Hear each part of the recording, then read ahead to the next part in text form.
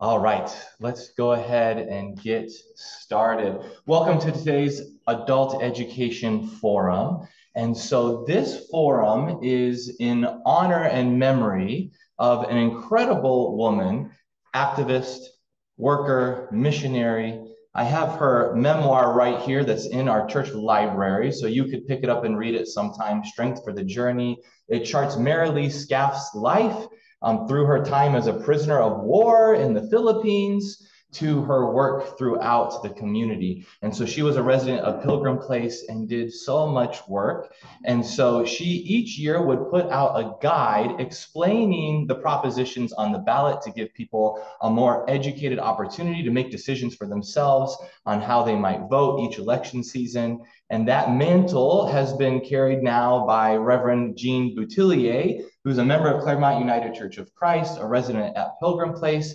And Gene needs a memoir of his own because his life is also full of so many stories and so much activism. Gene has a lifetime of working on issues ranging from affordable housing to labor to immigration. He has just termed out after serving six years on our board of mission and social action, and then switched over to our arts and education board. And so he is just an incredible servant of the church and our community. And so he's put together this guide. You'll see at the top of it that these views are Gene's views. They don't necessarily represent this church or anyone other than Gene. However, this is so important, I think, in the church world to emphasize. The church will never tell you how you have to vote. But it is important to be educated, to be civically minded, to be thinking about the issues so that we can make informed decisions on our own. And so Gene will present today, and we are so honored to have you, Gene. So the floor is yours.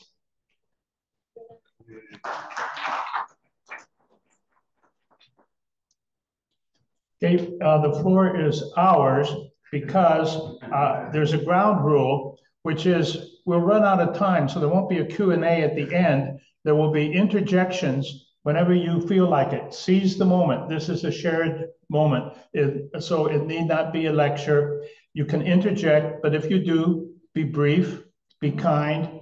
And because there are people online, I'll repeat it briefly for you uh, uh, who are not in the room.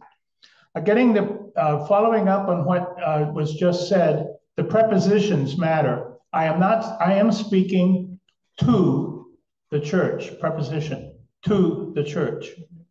I'm speaking from the church. I grew up in the church. Social action was learned at summer camp and at church all my life.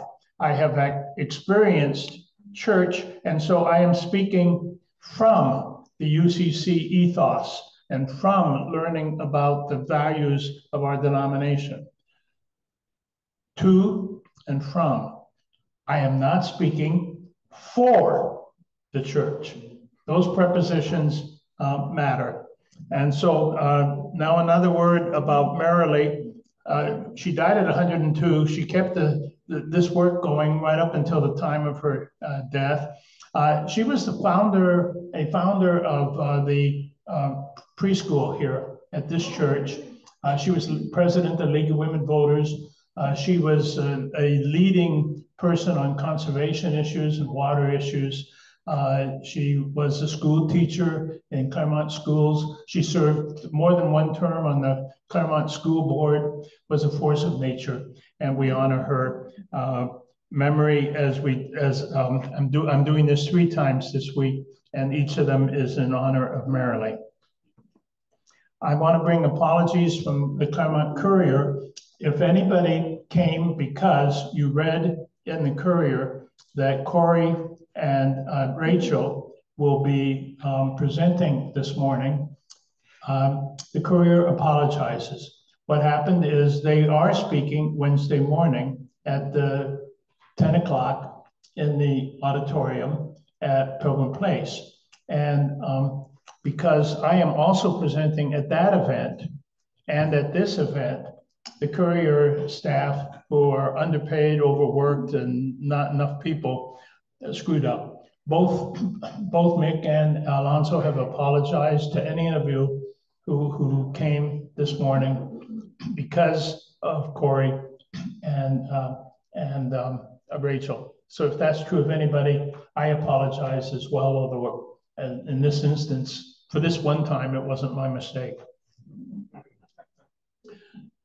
Um, let's go to work on propositions. Um, my priorities, which I'll start with, are propositions A on the LA County ballot for those of you who live on the LA County's uh, eastern edge, and Proposition 5, which is statewide. These two are related to hunger and, um, excuse me, to housing and homelessness. Let's start with the county proposition number five. Um, it is uh, to replace a current quarter cent tax, sales tax, on things that are taxed uh, for sales, uh, and that is going to expire. And it will replace that expiring quarter cent um, tip tax. Proposition A. Proposition A, um, with a half cent and a one that will not expire uh, unless there's the, the, will of the voters at a future time uh, that changes it. And then that money is spent on uh, a very carefully planned uh, program of um, housing and homeless services, mental health and related especially, and addiction related included, um, lots of new housing production, and a very robust uh, accountability program with new vehicles for making sure that goals that are made are kept. Uh, it is uh, the first time that LA County has ever had a ballot measure that was not put on by the supervisors, all of whom supported. It It was put on by vote of the of, of the um, by by signature gathering. United Way of Greater Los Angeles led that campaign with lots and lots of other support. Uh, the LA Times endorsed this today. Uh, so uh, when you see on my chart here, a blank for LA Times, that's because they're rolling out their endorsements bit by bit and today they endorsed Proposition A. Uh, so uh, you can see the League of Women Voters, Labor, Democrats are in support of this uh, important measure. Proposition A, for those of you who live in, and vote in LA County. Proposition 5. Proposition 5 was put on the ballot uh, by the state legislature. It is a measure which will change the ability of a local government to pass bonds for affordable housing or for infrastructure by changing what requirement there is for uh, voter approval. Right now, a minority of voters can keep a community from developing because uh, in the spirit of Howard Jarvis, it now requires a two-thirds vote of the those who vote in an election to pass a, a bond measure uh, for a city or a school district or a uh, county. This will change that to a 55%. It's still a supermajority. It still is a way of showing the people uh, support this project, and therefore it's okay to tax and and uh, and to borrow in order to make this school district roof repair or to make this investment in affordable housing. It doesn't require, it doesn't spend any money. It creates an alternative way, a better way for local government to ask for permission to spend money, to raise, to borrow money and spend it. Is there any questions about either Prop A or Prop 5 before I move on? Yes. Uh, do, do the state supervisors support it? And is it for low cost housing or just any kind of housing? No, uh, are you talking about Prop 5? Five, yeah. Um, Prop 5 is uh, for any uh, housing project that requires general obligation bonds on the part of the city or uh, or uh, uh, infrastructure for, for, environmental reasons or for street repair. If a, if a local government wants to pass a bond right now, they have to have two-thirds support. Often that is still the case because we recognize the need for a sensible government to occasionally borrow, just like it's okay, or it's not being foolish to have a mortgage for your house or to buy your car on time. It's also reasonable up to a certain level for a municipality to decide to have a general obligation bond to improve the community over time. That's what five is for. It doesn't, it is not a bond. It's a permission for local government to advocate for the voters to um, pass a bond. And it makes it more reasonable that the bond might pass.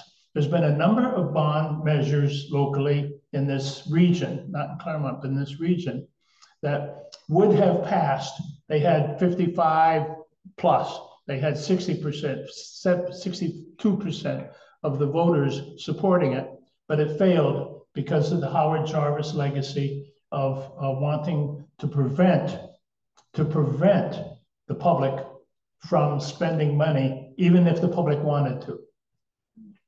Okay, I'm ready to move on to other state and LA County propositions after talking for one minute about two and four. Speaking of bonds, the state legislature struggled and struggled over several packages of bond issues, and they finally decided at the last minute in a negotiated uh, agreement uh, that they would spend, uh, that they would ask the, us all to spend a few billion dollars on housing, though, a few billion dollars on education, yes, a few billion dollars on infrastructure related especially to, to climate change, yes.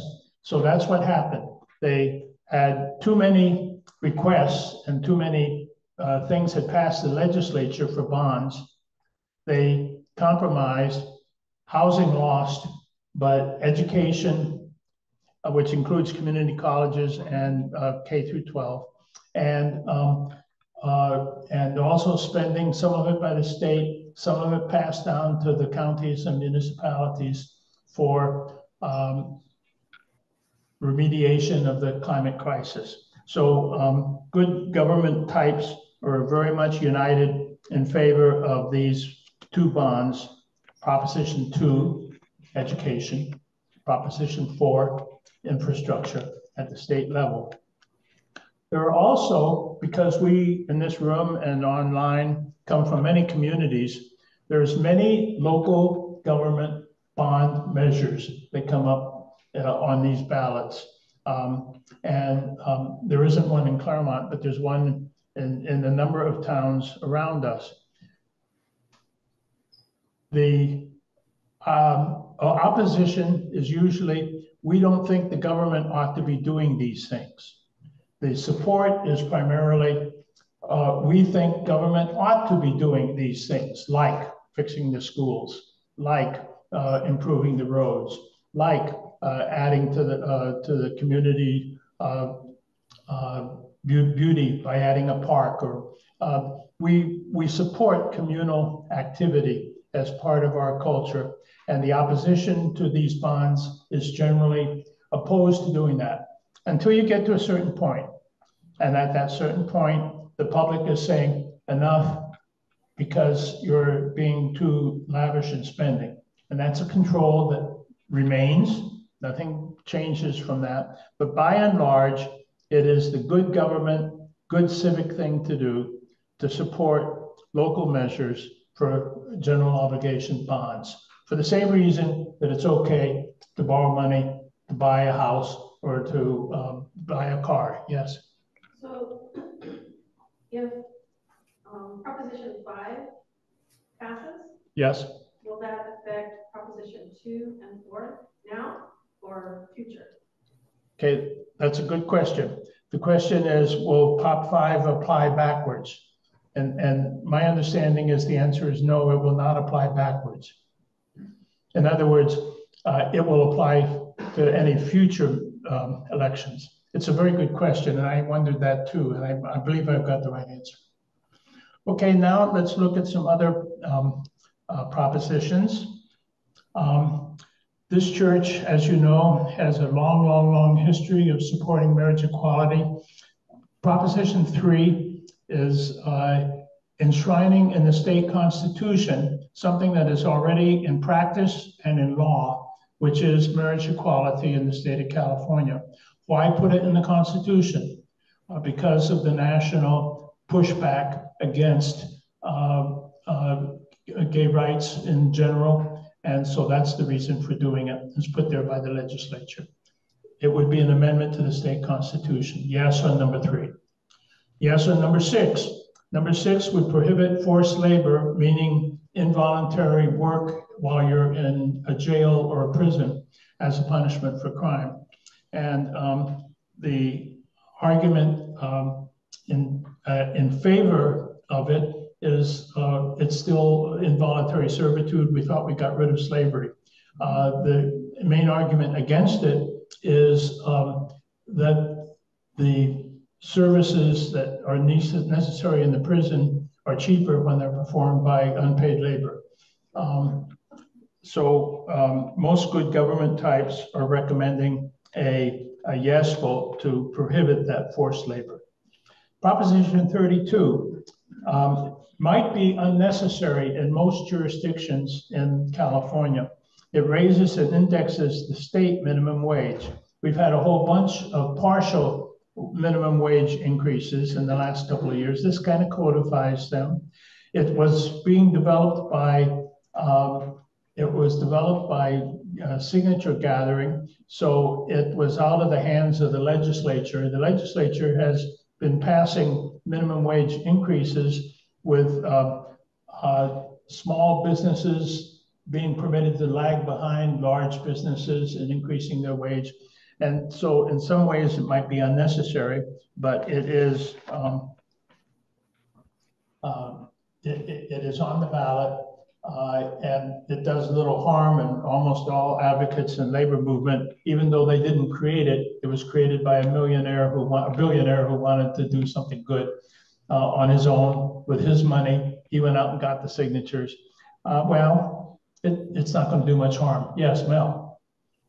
Have there been any, any other LA Times endorsements on any of these uh, propositions two through 34? Um, two through 34. The, uh, I expect them to do more. Um, they're, they're, rolling them out daily, but um, did I?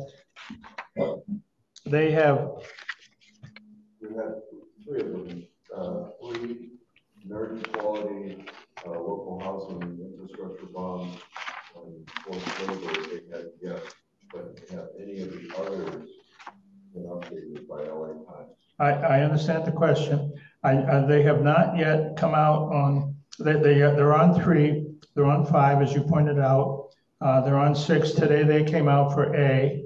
Um, and uh, they also came out on the county proposition uh, G, excuse me, yes, G. Uh, but I, I'm not aware of them having done the other state propositions yet. I, they, um, they want to sell a paper tomorrow and not just yesterday. and so they're rolling out the, uh, endorsements more slowly. Me.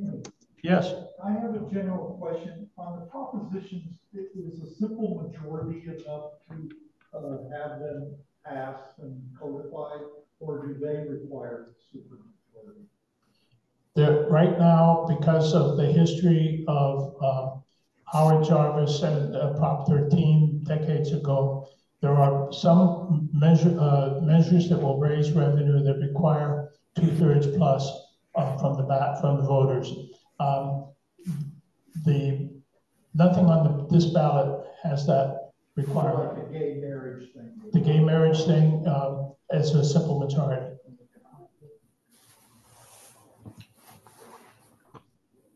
Um, come on, now advance for me.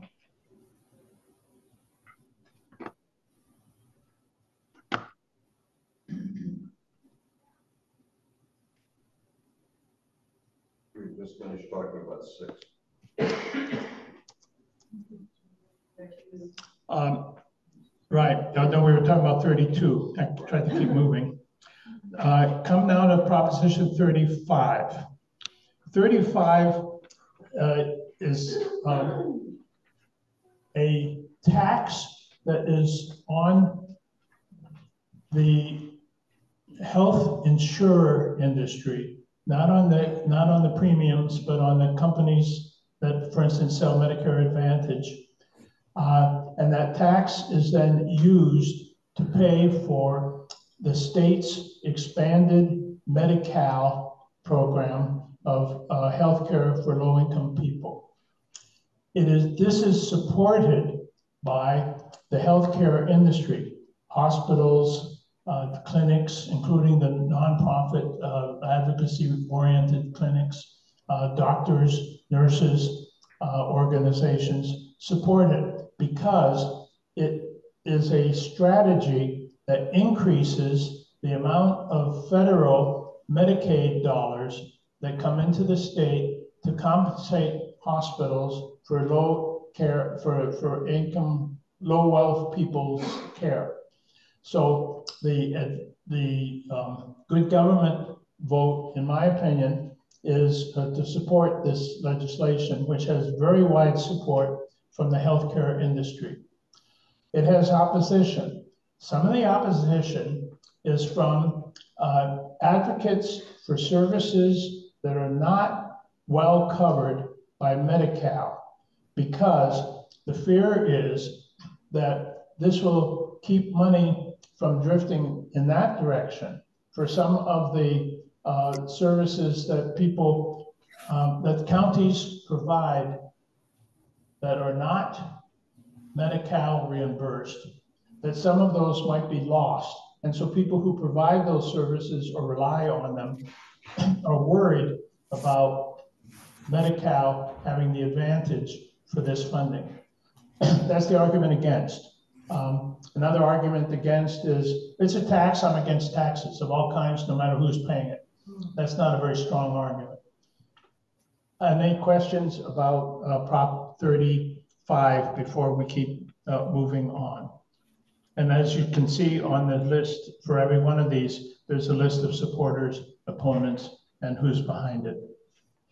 Proposition 36 includes uh, a reaction, um, a pushback against a movement that this congregation has by and large supported wholeheartedly, which is to reduce the um, over incarceration, uh, the failure, the, the focus on punishment and not on treatment, uh, the focus on against rehabilitation and in favor of revenge uh, that has been part of the tough on crime movement.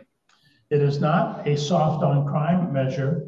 It is a, uh, a trying to keep the status quo uh, experiments in uh, rehabilitation, in uh, alternative sentencing, uh, in uh, other kinds of ways of dealing with, with, with crime and with mental illness and with addiction, which are often the reason why the largest mental health hospital, uh, the, the largest collection of mentally ill people in California is in our prisons and not in our hospitals or in our clinics.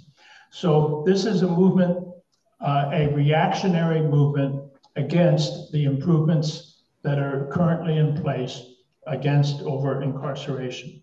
Um, so number 36, uh, strongly, I recommend a no vote.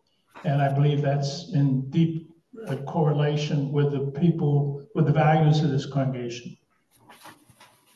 Now, um, a difficult one for me, and that is uh, propositions 33 and 34.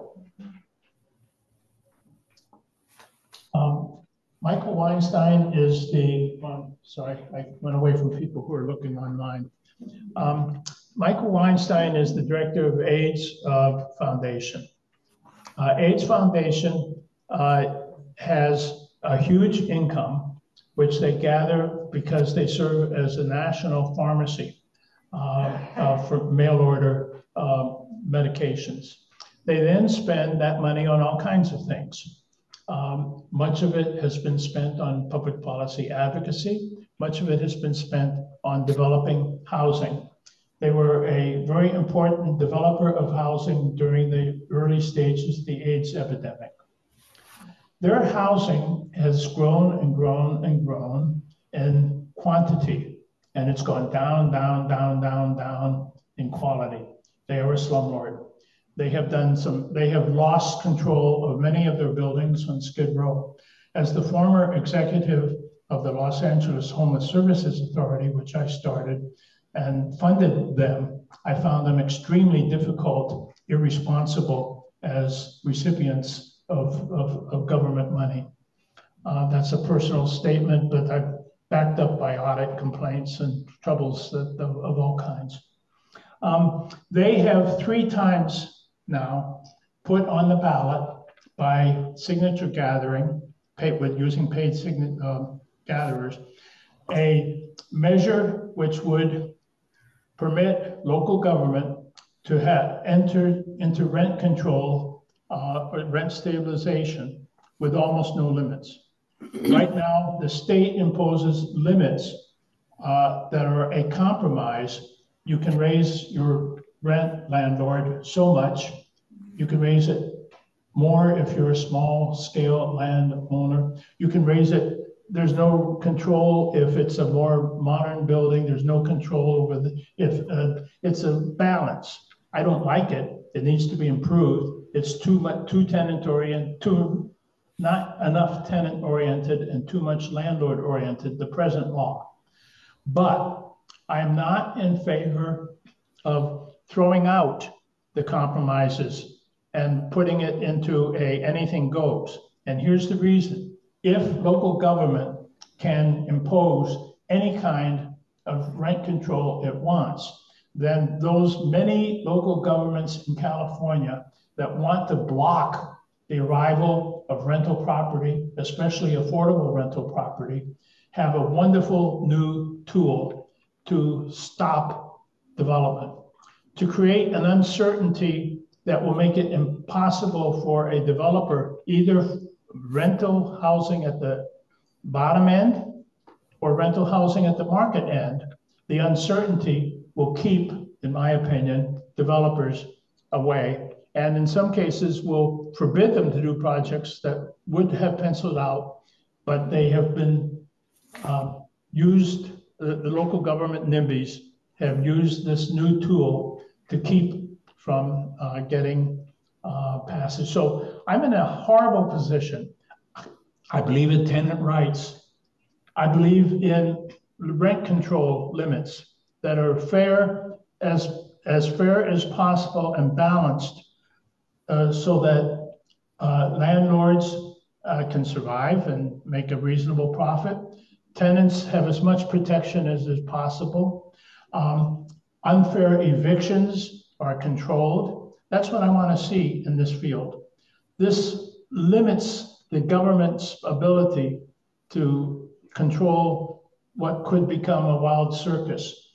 That's why, uh, yes, in my backyard action an organization, and uh, and the uh, Abundant Housing Los Angeles, and uh, a number of groups which I work, even though they are for tenant rights, are against Proposition uh, 33. Um, I have other friends, including some of the tenant uh, organizers in Claremont, who say, well, that, that's a theoretical danger. It's, it's, it's a real danger, but it's theoretical. But what's for clear right now is my rent's too damn high and I want to get it down. And maybe this is a way to do it. And we support this legislation. So uh, both choices, in my opinion, yes, no, or silent, are all bad. The organization I lead, um, Housing Claremont, our position is we can't take a position on this. And so uh, that's that's our position. Uh, now, 34. 34 was put on the ballot by the Apartment Owners Association as revenge. It will create a, a special um, obligation that any organization, and there's only one, any organization that uh, has income from prescription of pharmacy sales must use ninety-five percent of it for direct services to the people who are receiving the prescriptions. You can't use it for putting ballot measures on the ballot. It's revenge legislation, pure and simple. It is, we don't like it that you put signatures on the ballot to pass your bill. We're gonna get you. But that's not the right way to use the ballot. Whether you like Weinstein or not, and I don't, going after him for revenge using the tool of the voters is an outrageous misuse of democracy. And therefore, I am opposed to Proposition 34. Are there any questions? Yes, Why are the apartment association for it? Is that the Weinstein organization? uh, the, the, uh, no, the, the proposition, they are opposed to Proposition 33. They are in favor of Proposition 34. They wrote it. They, they got the signatures to pass it. They put 34 on the ballot. And the reason they put it on 34 on the ballot was to punish uh, Michael Weinstein and the AIDS uh, organization.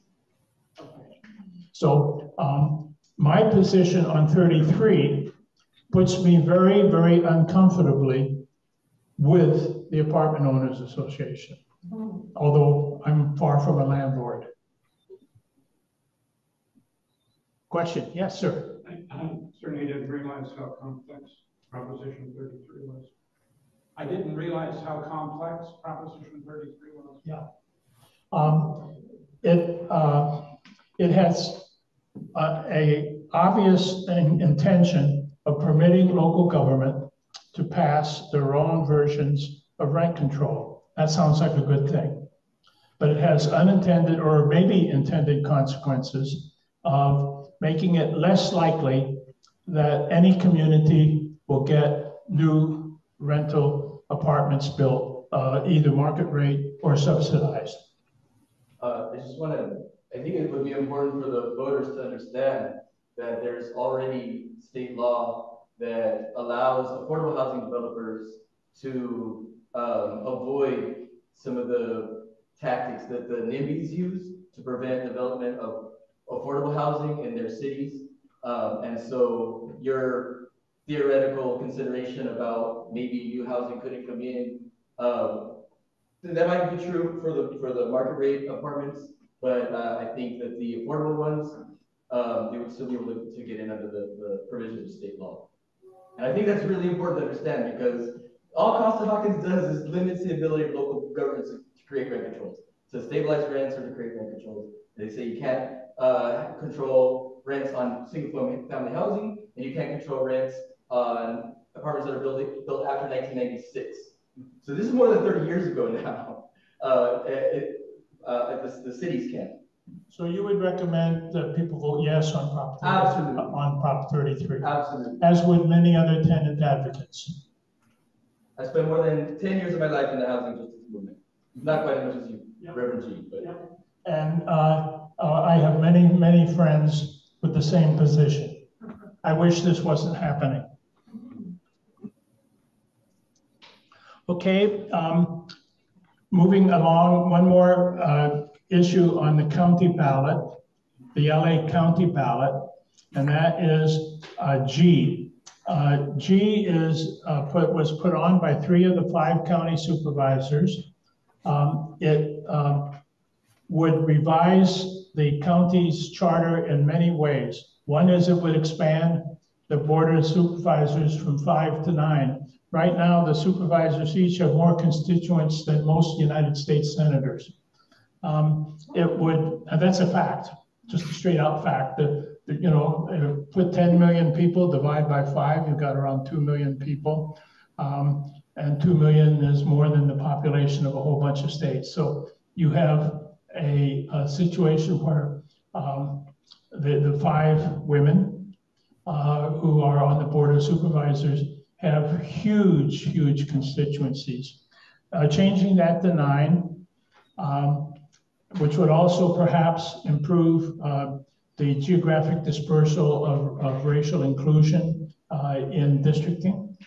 Um, creating an elected executive, in effect, a county mayor elected by the people, instead of an administrator who works for the five supervisors, who right now are the legislative and the executive and the judicial branch of county government. The supervisors are basically all three. This would create much more robust executive function separate from the legislative function. Three of the supervisors support this, one liberal and uh, Kathryn Barger uh, oppose it. Uh, and Kathryn is a, a re remarkable unicorn. She's a moderate Republican um, with uh, very good support normally for uh, health and welfare services. So the five supervisors put it on the ballot, uh, with two of them opposing it. Any questions about five? Oh, five is supported by LA Times. And it's supported by most parts of the county workforce. They are divided. The labor force is divided on this issue.